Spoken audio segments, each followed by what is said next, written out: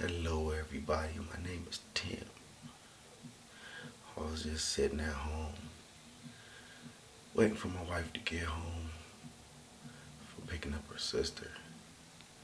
And they had brought back Burger King.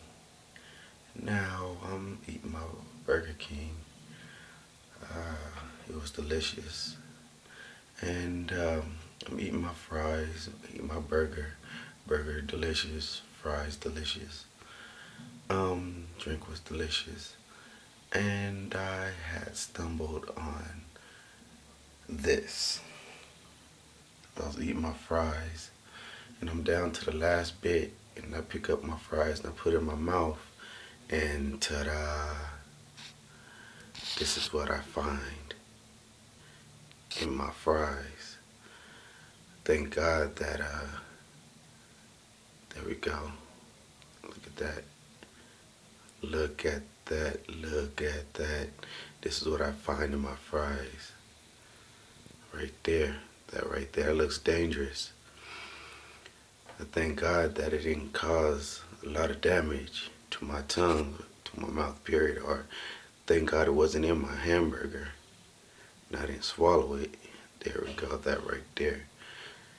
That was in my fries.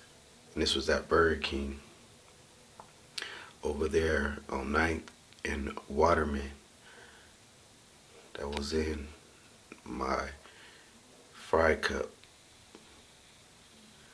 and I had put my fries in my mouth, not knowing that this was in my hand at the time. And while I'm chewing my fries, I taste something, I feel something sharp. And this is what I feel right here. This is what I feel right here.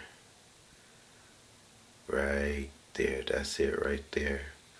Little sharp piece of a blade looks like. So if you go to Burger King, be careful, watch out. Because uh, you might find something like this in your food. Dangerous, very, very dangerous.